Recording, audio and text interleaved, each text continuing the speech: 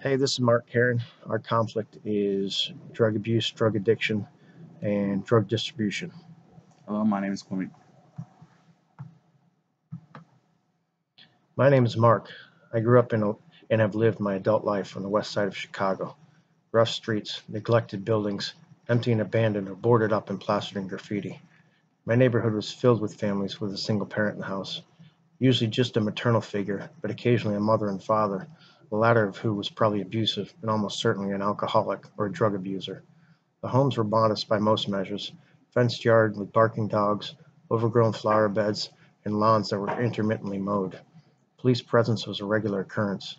Police cars patrolling the neighborhoods was routine, and so were police investigations. Murder, drug dealing, domestic violence. The gangs controlled sections of each neighborhood. They were the influencers. Flashy jewelry, expensive cars, wallets full of money. I became influenced. Soon I became one of them. Where my family had failed to guide me and nurture me, my gang family showed me the love I craved but lacked at home. It wasn't long before I had my own flashy jewelry, my own fancy car, and my own wallet full of money. I became the largest dealer of cocaine in the West Garfield neighborhood of Chicago. I didn't care about the users like Kwame and the lives I was affecting in the West Garfield neighborhood. I just cared about the money, the status, the influence, and the power. Hello, my name is Police Inspector Kwame James. I grew up in the upper north end of Chicago with white picket fences, luscious green grass. I grew up in a place where everyone said hey to one another. Kids played outside in their yards, and there, the sight of police were a rare occurrence. However, my perception of the world was changed in the, in the instant I became a cop in Chicago.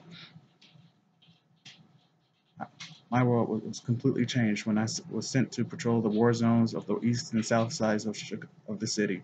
Every single day there was nothing, nothing but drug offenses and raging gun battles. I was mortified by the constant death and destruction that plagued the Chicago, plagued Chicago. And when I found it, found its cause, I thought I'd take the take it head on. So I joined the Drug Intervention Task Force, where I led the charge on, on the war on drugs, busting up trap houses and putting dealers and users alike behind bars for as long as possible. Everyone on the force called me the super, called me the super cop. Turns out I am not so super after all. I went to stop an armed subject wreaking havoc in the Narrows. I kicked in his door and got nothing but buckshot for my troubles months of recovering from that shot, which led to months of use of prescription drugs, which led to my addiction, my descent into darkness. My body required the stuff at every moment during work, when I was with my kids, and even during my dreams. It was horrible. Eventually, the pills couldn't get me high, and I turned to people like Mark who supplied me with the heavy stuff, such as heroin. Being the largest dealer in my neighborhood wasn't enough. I wanted more, so I pushed in the East Garfield Park neighborhood across Hamlin Avenue. I had my runners move in and out of East Garfield Park, gaining access to the drug trade and a rival gang territory. With my power and influence growing and my drug habit becoming out of control, I became brazen and erratic. One night, high on cocaine and filled with alcohol, I grabbed my homeboy and drove through the East, Park, East Garfield Park, windows down, with the music from NWA blaring out of my JBL car speakers. I wasn't afraid of what the rival gang might do to me. First time through the neighborhood, not a single person noticed. There were a few people out in the streets, but they didn't even turn their heads. Second time through the neighborhood, I noticed a couple of rival gang member, members walking out their front door onto the driveway. I didn't even stop to think. Put the car in park, grabbed my gun, and stepped out of the car yelling at them to get back into the house. What happened next happened fast. Shots pierced the quiet night, racing through the calm air. All I can remember was the noise and the pain. I'd been hit with two bullets in the left bicep and shoulder. Then I heard screaming from the house in my car.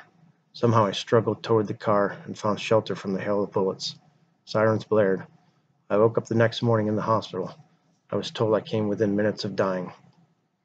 I spent days in the hospital recovering, and it was here that I learned of Cure Violence, a national anti-violence program. Cure Violence uses techniques and approaches similar to disease control strategies to detect and interrupt conflicts, identifying and treating the highest risk individuals and changing social norms. I work as a violence interrupter and work in the community to prevent retaliation and mediate ongoing gang conflict so that violence doesn't escalate. This program has been adopted successfully in cities such as New York, New Orleans, Juarez, Mexico, and Cape Town, South Africa.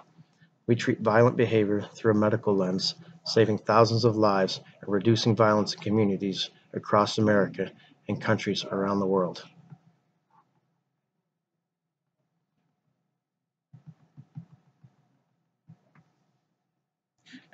At the time, I didn't care.